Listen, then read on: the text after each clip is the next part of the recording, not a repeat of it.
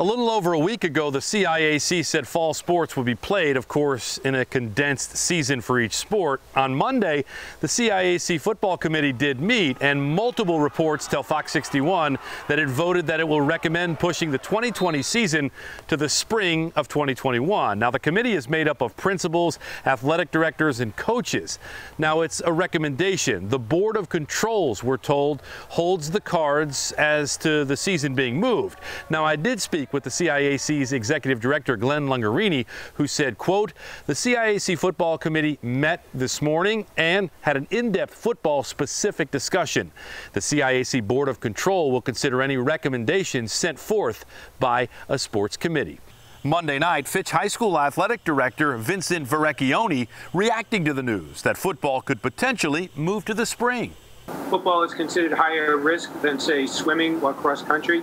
So maybe they're looking at it that way. Again, we won't know any of this till, till the meeting.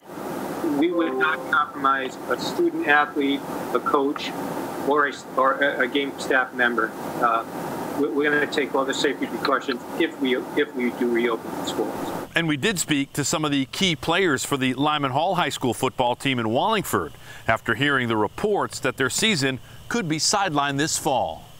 I was kind of disappointed because I feel like we kind of are getting chipped out of our senior season where we could have a 10 game season, potentially playoffs. But now that they're moving into the spring, I feel like that's a better option for us because we could potentially get the full season in. I don't know if they're gonna like put it in the spring or like they're just gonna cancel like fully. And I feel like since it's my senior year, like I want to at least play football like this year. It's my last year. Now, this meeting was scheduled as part of the ongoing process set forth by the CIAC regarding the fall season.